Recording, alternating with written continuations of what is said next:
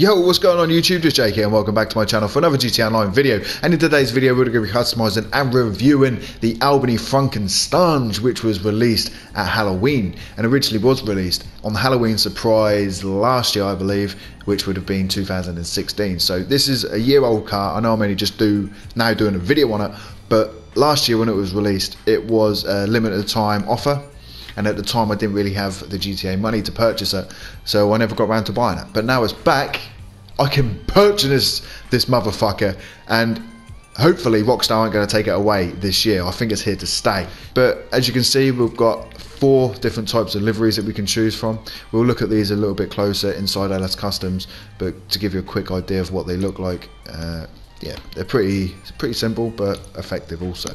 But anyway, guys, I'm going to get this purchase now for $550,000 and I'm going to meet you back in the LSC.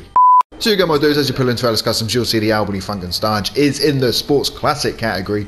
And straight away, as always, we're going to go into the armour and purchase 100% body armour. Then we're going to go to the brakes and grab the race brakes for the engine. We're going to get the level 4 engine upgrade, skip past the explosives, and then we move on to the hood. As you can see, we've got an exposed engine at the moment. Um, uh, I don't think we're going to take that away, but we're not. It's a hood, but it changes the engine block. Can figure that out, Rockstar Logic, what the hell? I thought it was going to give me some sort of cover, but no, it doesn't. It just changes the engine block, um, which is, you know, random as fuck.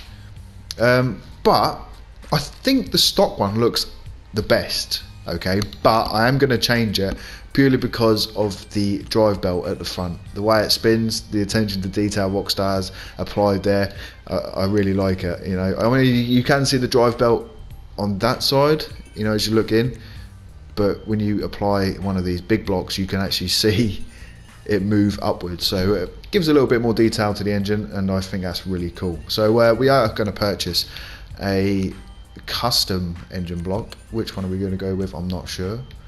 Um, I'm going to go with this one. I'm going to go with the, the single intake bug catcher because uh, it looks a little bit meaner, I suppose, because this one looks a bit muscly. you see a lot of them on muscle cars, and I think this one looks a bit more aggressive. So yeah, we're going to go with a single.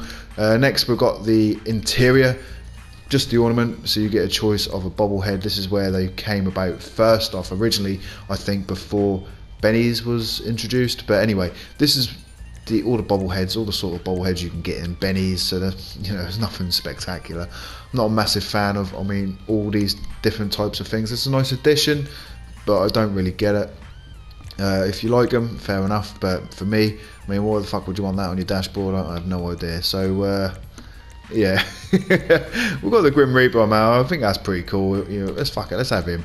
We have the Grim Reaper. We got the Zombie Bride. We got Jason with a chainsaw, you know, different pieces. Of Zombie, uh, you know, these Halloween ones are pretty smart. I, I think, you know, they're all right, but nothing spectacular, are they? A bit of a waste of money, to be honest. I mean, if you want to spend six grand nearly on a little ornament to go inside your car, then so be it. But I have grabbed the Grim Reaper just for um, customization sakes. Then we're going to move on to the lights. We've got the headlights. I'm going to purchase the Xenon headlights for a neon kit. I am going to go neon for this bad boy. I'm going to go front, back, and sides, and I'm going to get the black light. Not sure what colour I'm going to go for the exterior of the car, but the black light usually goes with most things.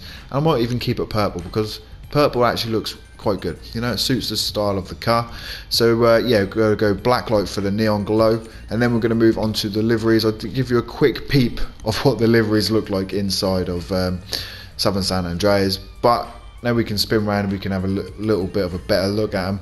The same as the Sanctus, the the liveries don't seem too polished. They seem a bit, you know, I don't know, fucking the resolution on them doesn't seem that great. You see the spiderweb on the door there. You, you know, you can see the, the jagged, jagged lines in it, um, which is disappointing.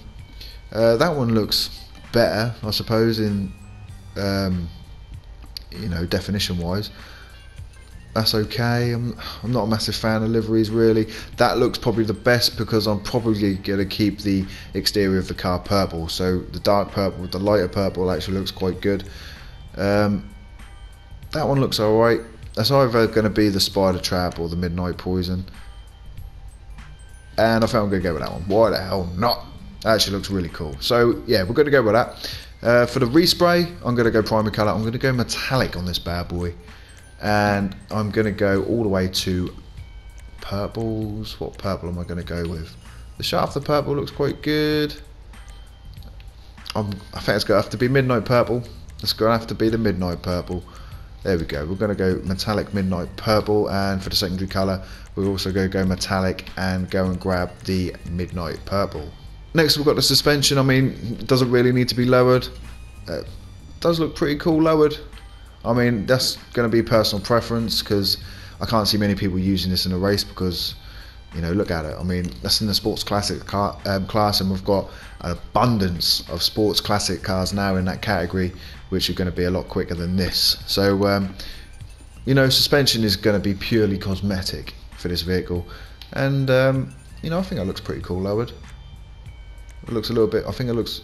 It looks more of a hot roddy style when you want to lower it a little bit. Yeah, I'm going to go with a competition suspension, man. I, I think it looks pretty cool. Next, we're going to go to the transmission. I've got the race transmission. I'm going to grab the turbo tuning. And for the wheels, the wheels look pretty good as stock. I'm hoping when I change this, the rear wheel isn't going to go really small because that fat tyre on the back, man, looks fucking sweet. So we're going to go with the muscle. I'm going to go chrome. We change it. Yes.